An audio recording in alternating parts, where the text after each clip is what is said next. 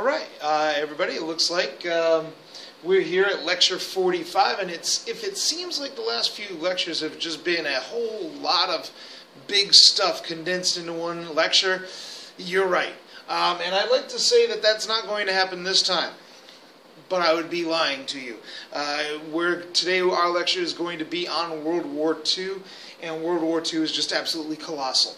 Um, so we're really just going to try to boil this down to the nuts and bolts of the war, and uh, and give you a flavor of uh, of World War II as a as a topic. Um, and then we, we got to move on. So uh, let's, without further ado, let's uh, move into this. Um, so what we're going to do, analyze the causes, progression, and consequences of U.S. entry into World War II. Now, as you may very well know, Um, World War II started without the United States. Of course, uh, depending on who you are and depending on where you, uh, um, you know, what your perspective is, uh, World War II, you could say that World War II started in, uh, in Manchuria when the Japanese invaded in Manchuria and then ultimately crossed the bridge into China. Um, mm, usually in the United States, we usually put the beginning of World War II at September of 1939 when Adolf Hitler and German forces invaded Poland. Um, of course, uh, Europe had been trying to avoid another world war. Uh, Adolf Hitler took advantage of that um, and um, and took advantage of the fact that European powers were willing to appease his expansionism uh, and um, and, and ultimately he's going to uh, push that appeasement a little bit be, beyond what um, what Europeans, what Britain and the France were, were willing to do at the time. He invades Poland. Um, ultimately, uh, cuts across. You know, cuts across into France, uh, very relatively quickly takes over France, uh, leaving Britain as the is the last real European uh, uh nation to stand up against the, uh, Nazi Germany. Of course, uh, the Soviet Union who had a, a non-aggression pact with Germany. So, so we have the, we have these things going on at the time. An awful lot of confrontation going on at the time with Japan on a on a quest for conquest in in China, and and later on Nazi Germany's conquest of continental Europe. So, what was the United States? What was the United States' position? at this time. And ultimately, the uh, Americans, for the most part, really did not want to get involved in another World War One. Uh, their experiences in World War One were mostly negative. Um, and in fact, at the time, there was uh, there was actually a commission. Uh, that was that, that, had come into being in the, in the Senate called the Nye Commission. Senator Nye was in charge of this commission, and, and, and, an awful lot of information was coming out about um, um, many of the lies that were told uh, leading up into World War One by the administration, um, the um, the profiteering that went on as a result of uh, World War One, and people were just really disgusted with the idea that they were involved in this war. Um, so they really wanted to stay out of it. They wanted to maintain uh, isolationism. Um, now, we, the United States is going to have some foreign concerns, but uh, if we take a look, this is a Gallup poll that was conducted in February 1940. So uh, at this stage of the game, you know, uh, uh, World War II is well underway, well underway at this stage of the game.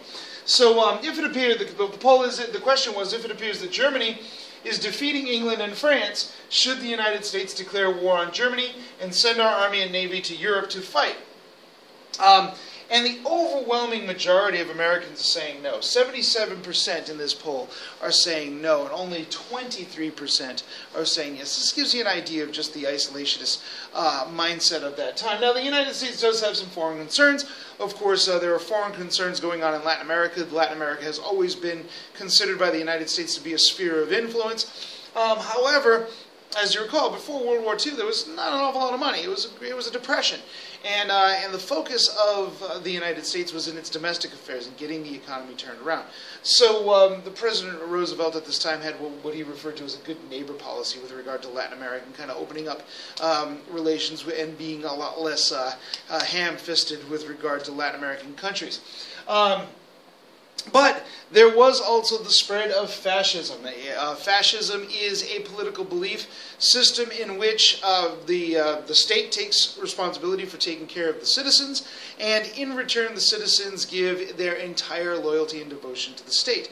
Uh, there are um, the, this idea of uh, liberal democracy, uh, lowercase liberal democracy. Uh, the idea of rights and all that other kind of stuff goes by the wayside. And um, and uh, these, these uh, very powerful leaders, these powerful dictators of both Italy. In Italy, it was Benito Mussolini, of course. Uh, in France, you're looking at Adolf Hitler. Um, let's see here, Mussolini, Hitler. These guys are saying, hey, look, we will take care of you. Don't worry about a thing. We're going to take care of everything. We're going to make sure that you have food, place to live, a job, um, and all you have to do in return is just give us all of your rights, give us all of your privileges, and do everything that we ask you to do. Uh, that's kind of the idea around, uh, uh, behind fascism. And also, this was uh, interpreted.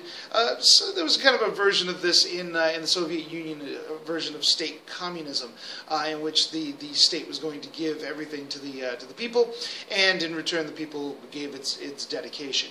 Um, and um, it, it, I, as far as practical realities, this seemed to work pretty well. Um, Italy and Germany did grow their, uh, did become much more powerful during this time period. They did grow their economies during this time period, um, but freedom was not something that that um, that freedom as we know it was not experienced in these in these countries. Um, and of course, Japan was uh, in the process of expanding the, at this point. So, um, and again, the United States does not want to get involved in this war. In 1930, um, the United States uh, passed what was called the Neutrality Act. Of course, this was a time when this was this was a time when um, when these uh, when the, these uh, many of these fascist uh, countries uh, were starting to expand and move move off a little bit. Japan was uh, expanding its uh, its holdings in, in Manchuria, um, and the United States says, "Look, we just don't want to get involved in this." So we, we were guided by this Neutrality Act. of course, um, Roosevelt understands here, and he kind of understands at this point that the United States is ultimately going to have to be involved in this war.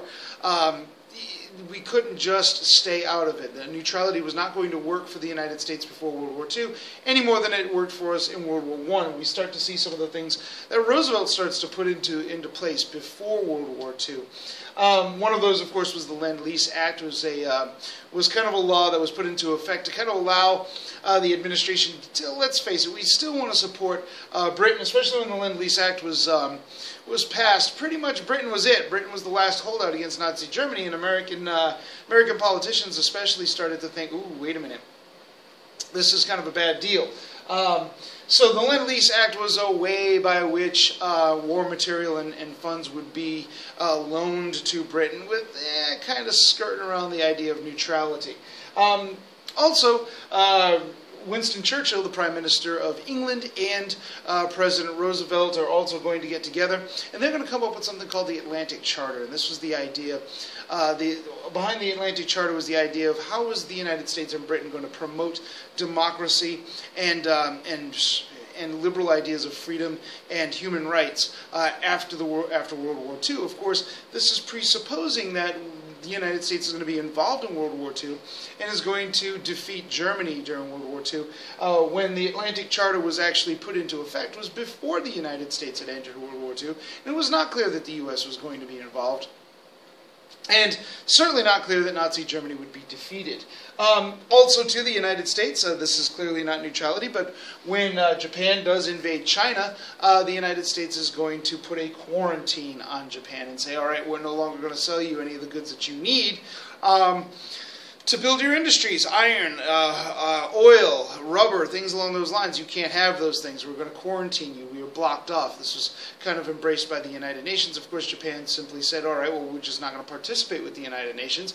And we're going to go out and get these things anyway. Uh, Japan has plenty of, I mean, China has plenty of coal. There's rubber in the Philippines. There's the things that we need in the Pacific. And the only thing really standing in the way of Japan being able to get all the things that it needed was the United States Navy. Well, um, that is going to be taken care of at the Battle of Pearl Harbor the, uh, in, uh, in December 7th, 1941 uh, the um, pretty much the entire U.S. fleet, uh, for the most part, was uh, was parked and stationed in Pearl Harbor, Hawaii, which is a, a, a, a harbor, a very large uh, waterway um, leading into Oahu, the island of Oahu. Uh, and in December 7, 1941, Sunday morning, very brilliant uh, strategy on the part of the Japanese, they sneak attack. They attack the U.S. Navy ships that were just parked, and there was nothing that those ships could do. It was a Sunday morning.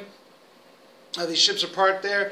Uh, they were all kind of bunched in, and they were literally sitting ducks for American, uh, for Japanese torpedo bombers. Now, these torpedo bombers were an interesting new innovation. What the Japanese decided to do was set uh, torpedoes on the bottom of their planes and the pl- have the planes fly very low to the water, drop torpedoes into the water, explode the uh, the uh, ships from the from below the keel. Um, it was a, it, it, worked fabulously uh, and uh, and destroyed pretty much the entire U.S. Uh, fleet, or da- destroyed or damaged much of the uh, the U.S. Pacific fleet, fleet, except for the uh, aircraft carriers, which were too large to get into the harbor. The Enterprise, the Yorktown, Saratoga, and the Hornet. Um, these were not destroyed. Germany uh, of course, Japan's goals at this time was to get the U.S. Navy out of the way and ultimately to start at one of probably one of the most impressive conquest uh, campaigns in world history. Uh, within a relatively short amount of time after the uh, defeat of the U.S. fleet and the destruction of the U.S. fleet in Pearl Harbor, Japan starts to spread south. Uh, they move, they, they rush through China, they, they rush through. Um, the uh, Southeast Asia. They take the Philippines and drive American forces out of the Philippines, uh, holding a number of American soldiers prisoner. Um, those that were able to survive a march across the Philippines, the jungles of the Philippines, and what became known as the Bataan Death March. Um, those uh, soldiers remained prisoners right up until the, uh, they were liberated in 1944. Um, they swept down into Borneo uh, New Guinea, and we're planning on an invasion of Australia. So we're talking about a very vast uh, West Euro, uh, Western Pacific empire that the Japanese had accumulated in relatively short amount of time. Now, obviously, on December 7th, 1941, um, the United States was clearly attacked. Uh, Franklin Roosevelt goes to Congress and says, hey, look, we need a declaration of war against the Japanese. This is a day that will live in infamy. A very, very famous speech on the part of uh, Franklin Roosevelt. Congress acquiesces, of course, and declares war against Japan. When. Um, when uh, Japan, uh, when the United States declares war against Japan, for some reason, Adolf Hitler uh, decides that he and uh, and Italy are going to live by their particular pact um, and they're with Japan, and they are going to declare war against the United States themselves. It's unclear um, why he thought this. He may have underestimated uh, America's ability to. Um, you know, to fight. There's, uh, you know, he's he's credited with having said that the United States was incapable of making anything except for, uh, you know, consumer goods, uh, washing machines and automobiles. The very same technologies that could be put into making washing machines and automobiles um, can also be made into putting, uh, building planes and bombs. It was a gross underestimation on his part. And also, um, he wasn't known for keeping his promises. Why did he keep this particular promise? Yeah, there, there could be many, many answers. Of course, one of the promises that, that uh, Adolf Hitler does not keep was the promise that he made with the Soviet Union, the Non Aggression Pact. Um, he will invade the Soviet Union in an attempt to take over the field, uh, oil fields and, and uh, wheat fields in the Ukraine and, and uh, to, uh, to gain what he referred to as Lebensraum, a living space for the German people. Um, the uh, the United States declares war against Japan, and they pass what, what, was the War Powers Act. The War Powers Act gave the President of the United States just unprecedented power to conduct this war. Uh, this, this, is, this was a major, major war. This was the United States going to war against not one, but two major world powers. We can't forget this. This is somewhat outside of our experience.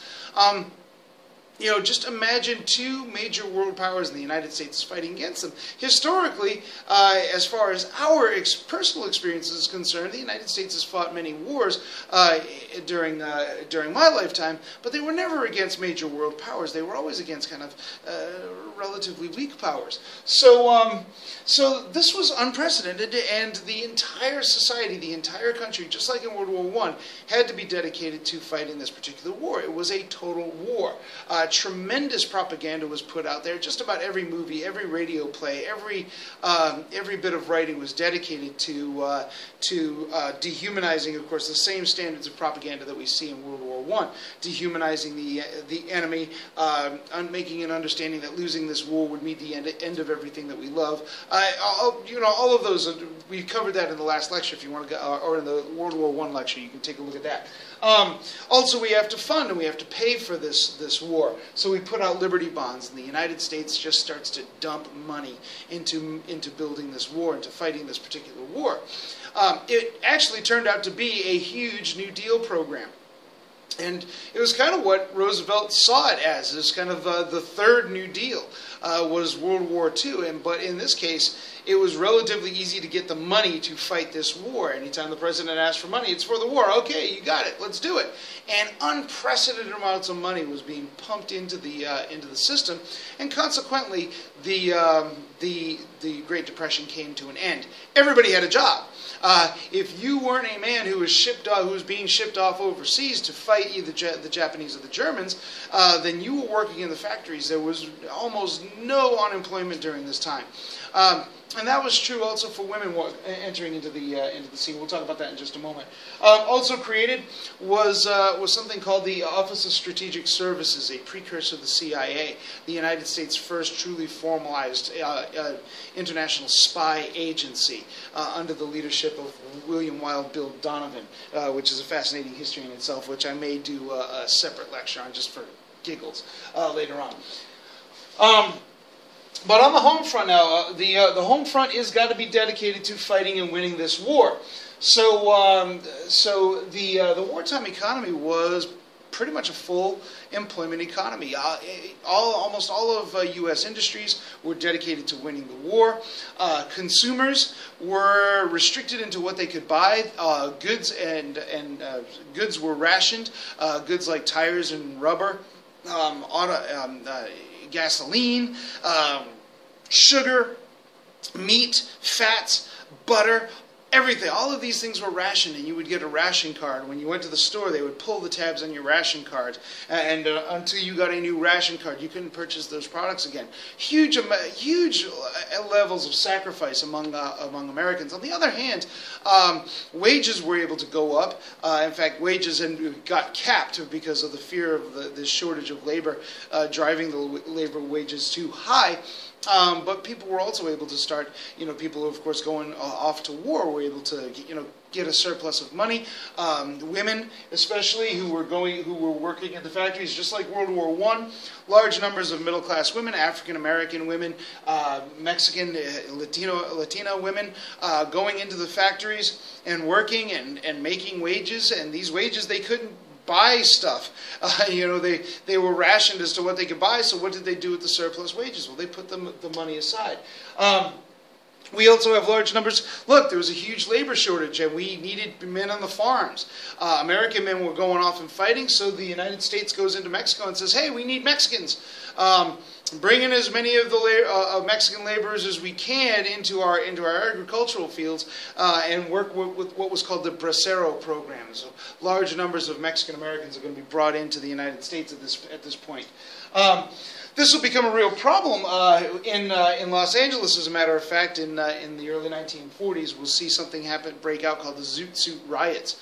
Uh, these Zoot Suit riots were um, uh, you know Mexican men were coming in, in in Los Angeles, and again they were working, uh, and they had a popular fashion called the Zoot Suit. It was this kind of flamboyant suit cuffed at the collars. It was just imagine your um, stereotypical 1930s uh, suit with the big floppy hat. That's your zoot suit. It was very popular among Mexican uh, men and uh, sailors uh, who were stationed in Los Angeles at the time. Some of these sailors were coming from places where, no, no, they didn't see a lot of racial diversity. They weren't in, coming from multicultural centers, and they're looking at these, uh, you know, Mexicans in the zoot suits and saying, "Well, wait a minute, that's kind of uh, you're kind of flashing this stuff in front of us, and you're kind of insulting us."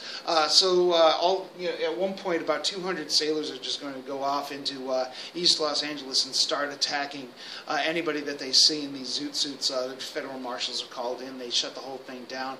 Um, they actually make the, wearing the zoot suit uh, illegal. Um, and, um, and American military personnel were restricted from certain areas in Los Angeles where that, that had heavy Mexican um, you know, uh, folks living there. Uh, things are also not easy if you happen to be a Japanese American, and, and California and Hawaii had large numbers of Japanese people. Uh, all of the many of these people were Nisei. They they they were uh, Nisei. They were people who uh, were born in the United States of Japanese ancestry. They were they were just as American as you and I, um, and uh, and yet they were Japanese. They looked differently. Um, uh, as a result of, uh, of, uh, of, reports of Japanese incursions and what was called fifth column uh, threats to the United States. These Japanese were rounded up under Executive Order 90, 9066. Uh, Franklin Roosevelt said, let's put them all in concentration camps and just get them out of the way so that they're not a threat uh, to the United States. So the hundreds of thousands of Japanese Americans were hoarded and, and um, put into concentration camps, and they stayed there for a considerable amount of time. Uh, a a lawsuit was brought all the way to the Supreme Court, Korematsu versus the United States, in which um, the uh, Supreme Court, which you can always count on to uh, to offer a regressive opinion, um, pretty much said, yeah, hey, look, you guys are a threat to the United States, so in a time of emergency, the president has the power to lock you up, even if you've done nothing wrong. In the meantime, um, a Japanese uh, Japanese brigade uh, or regiment was fighting in Europe and was one of the most uh, uh decorated, uh, if not, if not the most decorated single uh, military unit in in World War II. African Americans also are going to have. Um, they're going to see this as a bit of an opportunity. They're not going to see this quite like uh, like they did World War One. They're going to kind of learn their lessons from World War One, and they're going to say, "Hey, let's use uh, since we are needed. We're needed to fight this war, and we're needed in the industries. Let's use the fact that we have all of this power to actually make make something happen." And uh, and in 1940, uh, in the early stages of the war, I want to say 1942, A. Philip Randolph is going to threaten to um, you know to, to create a national strike of African Americans, and Franklin Roosevelt says, "Oh, wait a minute." we can't have a national strike. What do you want? And um, well, we want uh, we want free, we want equal access to these government contracts and these government, federal government jobs, and we want equal pay in those uh, federal government jobs. And um, President uh, Roosevelt puts into effect Executive Order 80, 8802, and uh, will also create a, a fair um, Fair Employment Standards Act uh, that will uh, that will mandate that uh, African Americans get equal treatment and equal access to federal jobs. Um, so uh, this was also the beginning of a, of a, group called the Congress of Racial Equality, which was uh, which was an organization, uh, an activist organization. Um, there's a, uh, primary source with regard to somebody. I'm not going to read it. You can read the uh, primary source uh, yourself because I want to move on, and we're about 20 minutes into this in, into this deal. Now, Europe. Europe is a real problem. Now, uh, the one thing that the United States and the Allies have going for them is Stalingrad. Uh, is the uh, the Germans had attacked. Stalingrad is right down here, um, but. Um, the Germans had attacked the Soviet Union, and uh, they had gotten bogged down in the Soviet winter, and were really, really bogged down in the Battle of Stalingrad. Now, now Soviets at this point are just getting destroyed. Uh, the German armies are are attacking them with everything that they have in order to try to break through the uh, the front at Stalingrad. But the uh, the Soviets are really doing a very admirable job of fighting the Nazis um, and and holding them at a standstill at Stalingrad. To give you an idea, over two million uh, people were killed in the Battle of Stalingrad. Of course, this was this was more than all the Americans uh, that were killed during all of World War II. Uh, in fact, all of American wars combined. Um, but either way, uh, so we've got the we've got Germany bogged down kind of there in the Eastern Front. In the meantime, uh, you know, the United States has got to get its uh, its soldiers and material to England.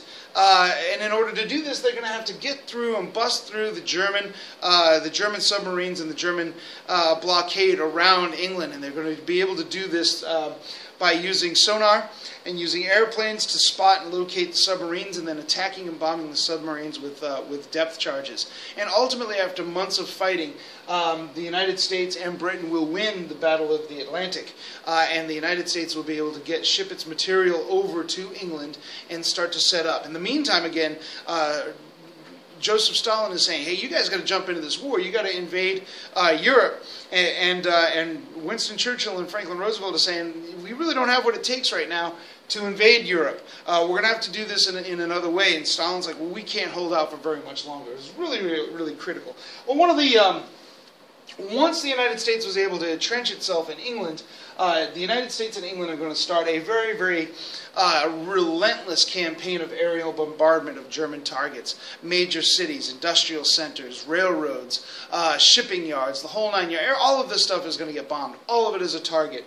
Um, and it was pretty much in many of these cities a 24-hour uh, bombing cycle with with U.S. Uh, uh, planes flying over these cities in the daytime, about 30,000 feet dropping bombs and just blasting the daylights out of these cities. Of course, the British would then fly over at night and bomb these cities. You can imagine living in these uh, these cities just undergoing a constant onslaught of bombing.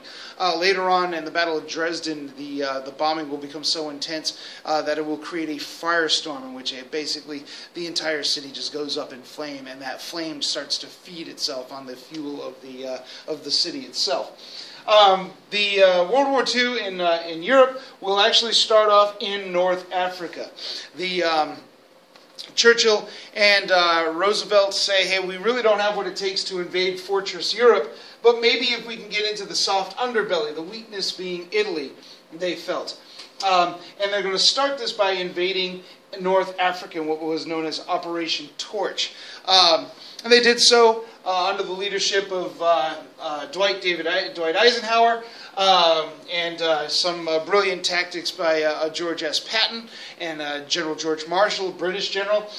they do take ultimately take North Africa, and they are able to then from North Africa establish and set up an invasion of Italy. So what we kind of see here is, uh, is landings in Casablanca, moving across North Africa, um, movements from British positions in, uh, in Egypt, and then ultimately let's get here in Tunis and cross into Italy and invade Italy. Uh, the invasion of Italy was actually uh, very, very successful. It was very difficult at first, uh, but will ultimately be, be successful. The Italian people will, uh, upon being invaded by British and American forces, uh, among others, are going to just get absolutely, uh, you know, irate with Mussolini, who had basically been their hero for a long time, uh, to the point where the king told uh, Benito Mussolini, "Hey, Benito, sorry, you are the you are the most hated person in this country." Being a hated person in Italy is not a, a, secure position to be in. So Mussolini decided to hightail it out of the out of town. Unfortunately for him, his train will be stopped. Uh, he will be captured. He and his girlfriend Claretta Petacci will be uh, will be captured, um, put on trial, found guilty, and executed. Uh, once they are executed, their bodies will be strung up by the ankles and hanged in the uh, in the Plaza Square for everybody to see because that's what angry Italians are going to do. Um, now, with the invasion of Italy, uh, Germany was like, oh, wait a minute, we got a problem. So Germany, once uh, Italy acquiesces to um, uh, to, to, the, to the Allies, Germany has to now send soldiers down into Italy, into Greece, and they have to divert some of their, their resources from fighting in Stalingrad and fighting in the Eastern Front. Um, and, um, and that was, maybe that just took a little bit of the pressure off of the Soviet Union. Um, who knows? There was also a, very brilliant uh, campaign done in which a, an entire German army ended up getting captured uh, in, in, Stalingrad. Um, and uh, as a result of this, Soviet forces are going to start pushing their way west. Uh, so now we actually start to see Soviet forces making their way west into, uh, into the Reich. Um, and this became a really, really good time now to start what was called Operation Overlord. In other words, this is going to be the actual invasion of uh, France and uh, on what was known as D-Day or the Battle of Normandy. The Battle of Normandy is the invasion of France. Um, and I, again, I'm not, I can't get into the details here. I wish I had, uh, and, and, in fact, ultimately, I'll probably do some more videos in which I talk about some of these things more in depth. Um, but after probably one of the most grueling uh, battles, this was this was by the way the largest uh, uh, you know attack across the English Channel in, in history. And think about it, the last time that there was a successful invasion across the English Channel uh, was 1066. So this was a pretty impressive thing. Ultimately, the Allies do make it. Uh, they, they eventually will liberate France, and they will start pushing their way uh, west. So now Germany is in, is in real trouble. Um, Germany... Um, does uh, Adolf Hitler does one last stand uh, uh, and and actually is able to make the uh, you know bring the uh, the the uh, French and English and U.S.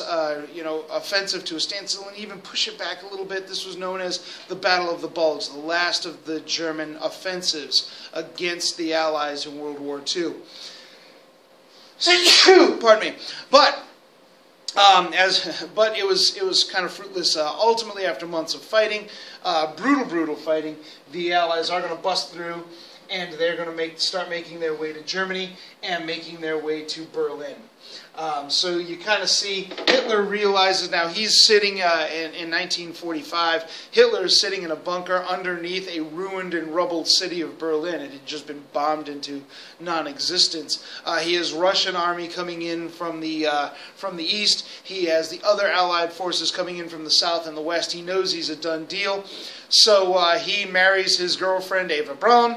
Uh, and they, uh, the Eva Braun uh, takes a pill of cyanide, which is a really brutal way to die. Um, they kill the doggy. I'm not sure why they would kill the doggy, but they kill the doggy, and uh, Hitler himself puts a gun underneath his nose and blows his brains out. Um, and that's the end of Adolf Hitler. Now, during the same time, you got to understand that at this point, the United States is fighting a two-front war. So this was happening in Europe, but we are also fighting a war in the Pacific, and this was an absolutely devastating war. Uh, devastating, and it, this is a largely a naval war. Now, since World War II, when was the last time we fought a naval war? We, we just don't deal with that. Uh, but this was a largely naval war. Um, and the goal, of course, now the, now the one thing that the United States had going for it was that the Japanese kind of had overexpanded.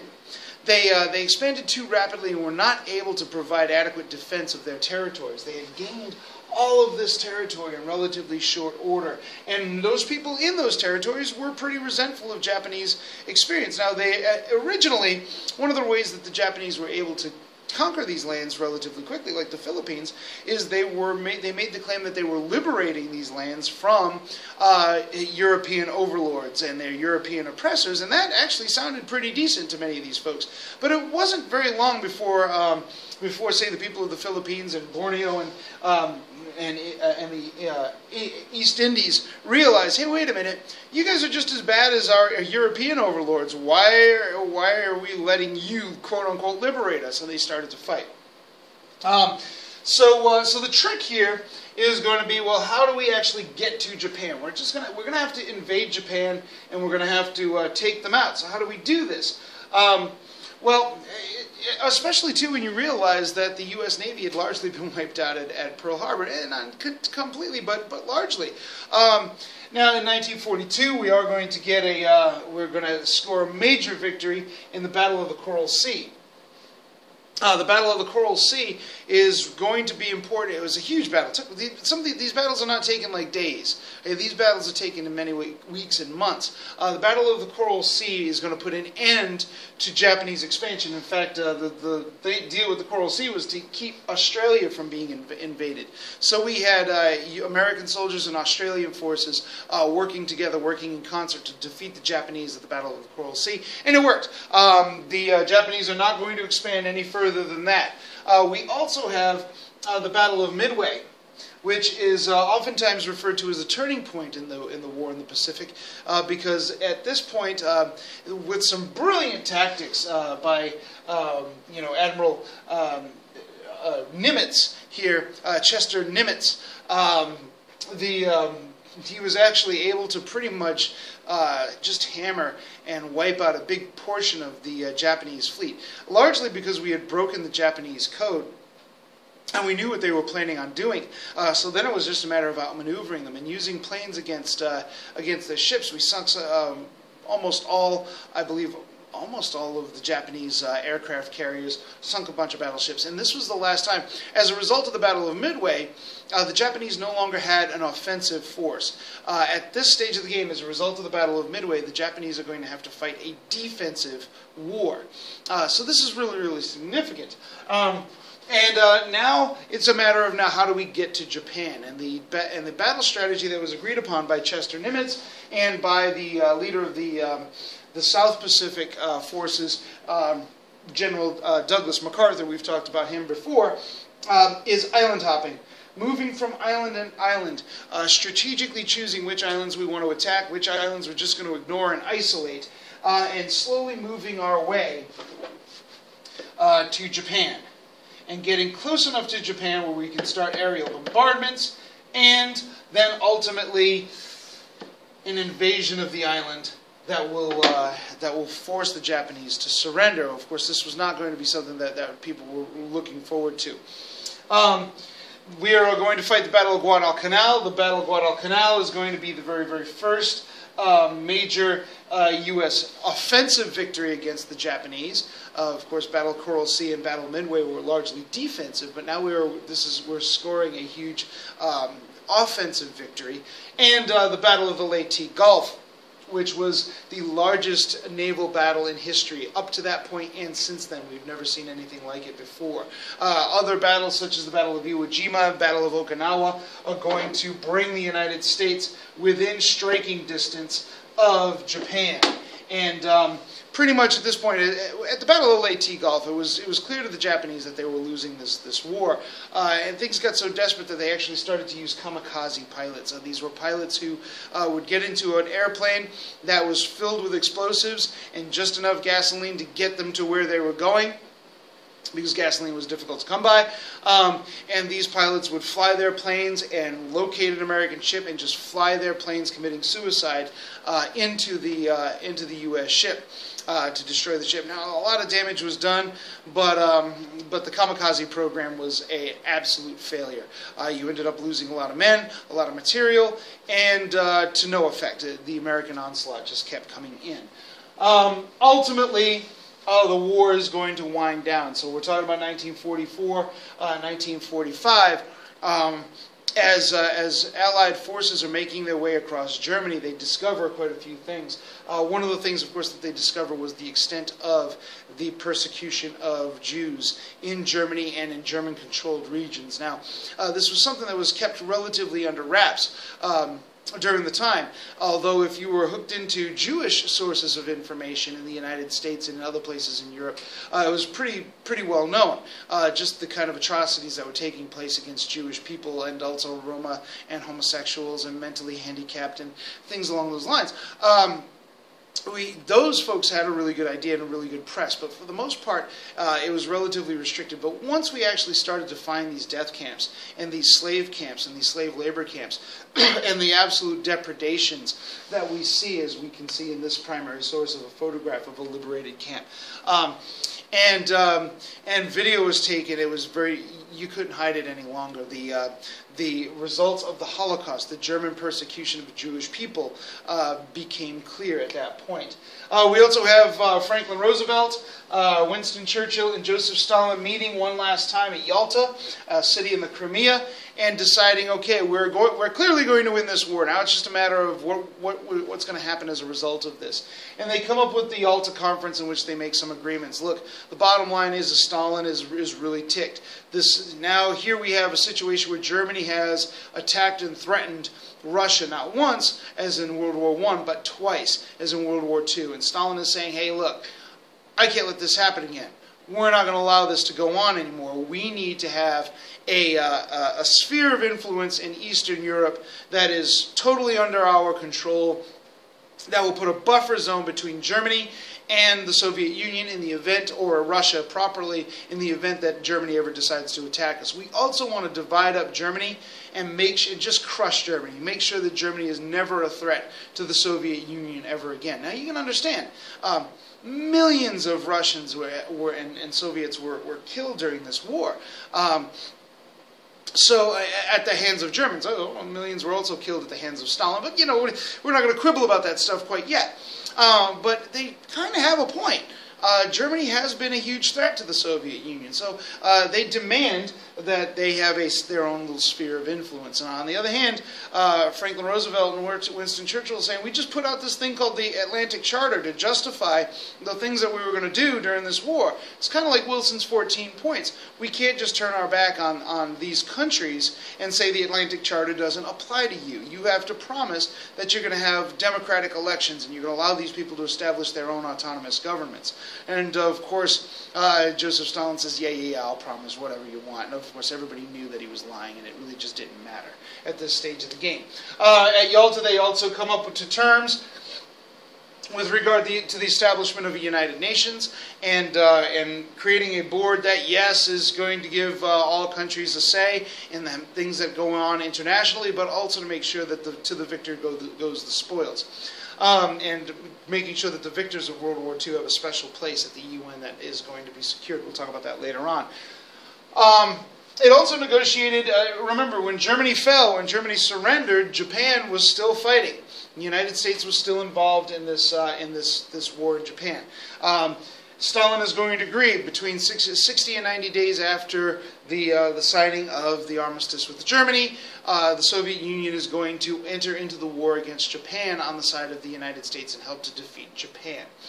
Um, and many people, of course, see this as uh, see the Yalta Conference as a betrayal of the Atlantic Charter, uh, and for good reason. Uh, it, you know, many countries were kind of left out to dry. Um, this is going to be pretty much the last um, hurrah for Franklin Delano Roosevelt. Now, uh, Franklin Roosevelt was elected to office in 1932. It, he is re-elected to office for the, uh, an unprecedented fourth time in 1944. Uh, so he has spent his entire uh, life since then as President of the United States. However, he was very sickly in 1944. Uh, he was very sick at Yalta. Uh, you can almost see how ill he was at Yalta uh, in this photograph here. And uh, in April of 1945, President uh, Roosevelt will die in office, turning over his, his presidency to his vice president, a fellow by the name of Harry Truman. Um, and Harry Truman learns hey, you're president during World War II. Oh, and by the way, we have a super bomb. What? What? Uh, yeah, well, we, you got to know this stuff because we're going to have to end this war. Um, finally, uh, well, he learned that there was that uh, Franklin Roosevelt, 1939, had started a project uh, uh, uh, by the behest of Albert Einstein and, and a, a, a, Jewish physicist by the name of Leo Szilard uh, to create an atomic bomb. And this atomic bomb was going to be strong enough to completely wipe out a whole city. It, it basically split atoms and released the energy from these from an atom, and had a tremendous explosive potential. It was a super bomb. Uh, they were almost there uh, by the time Franklin Roosevelt passed away. And in fact, at one point, uh, Harry Truman is going to meet uh, with uh, Joseph Stalin and the British Prime Minister guy by the name of Charles Attlee. Um, and they are going to meet at Potsdam, and they're going to have a conference called the Potsdam Conference. Imagine that. And at Potsdam, uh, Truman defines, he, he's given word that the atomic bomb has been tested in something called the Trinity test and was successful. The United States has a super bomb.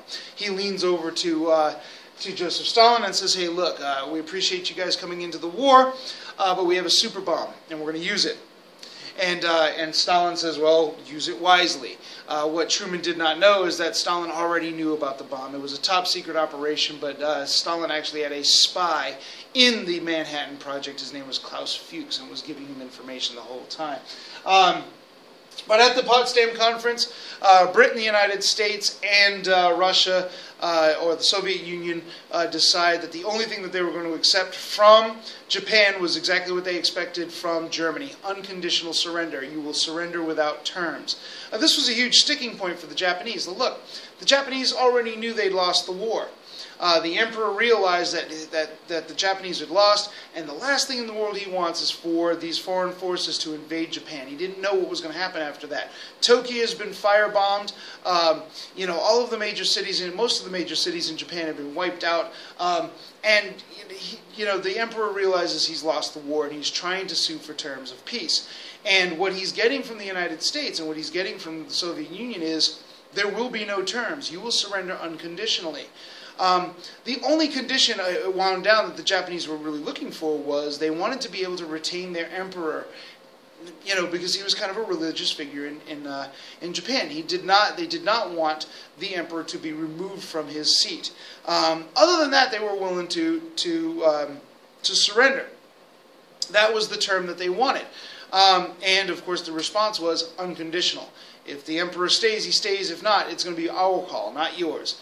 Um, so unconditional surrender. Well, in the meantime, in uh, in August of um, of uh, August uh, 6, 1945, the United States will drop the very first atomic bomb ever to be used in combat on the city of Hiroshima.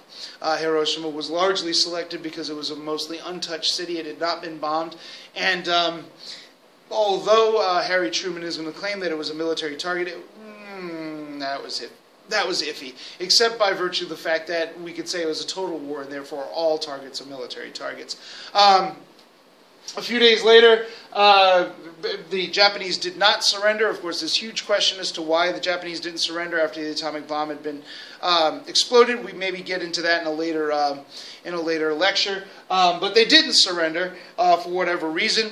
And uh, on August 9th, the United States is going to drop the second bomb on the city of Nagasaki um, and wipe out the city of Nagasaki. Tens of, tens of thousands of people were killed in the initial blast. Tens of thousands or more people are going to die as a result of radiation explosion, uh, radiation poisoning, and um, exposure to the explosion itself. Um, and finally, the Japanese will uh, give an unconditional surrender. However, they, the Emperor Hirohito will be allowed to remain as emperor uh, after the war, and he will remain emperor right until he dies, I believe in the 1980s sometime. He lived to be a very old man. Um, and that was it. World War II, at this point, as a result of the uh, dropping of the atomic bomb, is over. Uh, and so is this rather lengthy lecture. So enjoy.